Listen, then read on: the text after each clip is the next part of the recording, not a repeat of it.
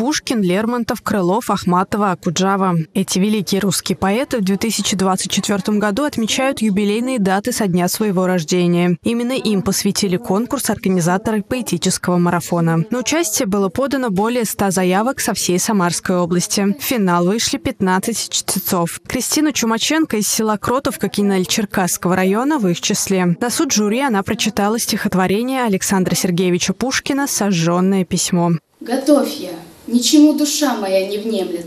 Уж пламя жадное листы твои приемлет. Девушка рассказывает, во время подготовки к конкурсу досконально изучила историю создания произведения. Это помогло проникнуться, лучше вжиться в роль. Пушкин был в ссылке, и у него был роман с женой начальника.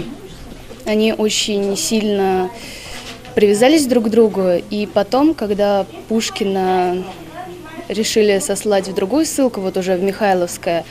Вот эта вот жена начальника, она заказала два перстня и сказала Пушкину, чтобы он носил его до конца дней. И он выполнил свое обещание. Оценивать выступление непросто, признается член жюри конкурса поэтесса и декламатор Наталья Ростова. Все готовились и старались. Интерес к русской литературе, который проявили участники марафона, уже дает им право претендовать на высокую оценку, признается Наталья. Выступления участников оцениваются по артистичности, по декламации, по тому, э, насколько жюри будет понятно, э, как, каким образом этот текст э, человеком озвучен, как он человеком понят, как он преподнесен, насколько эти стихи понятны и отзываются в душе, вот этот весь смысл, который там вложен, раскрыт ли он чтецом.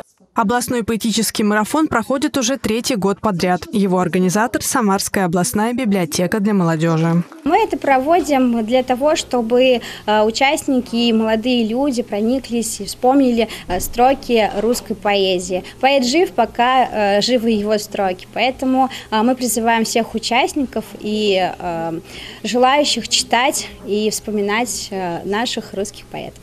В завершении конкурсной программы для собравшихся выступили студенты Института культуры. Галина Топилина, Сергей Баскин. События.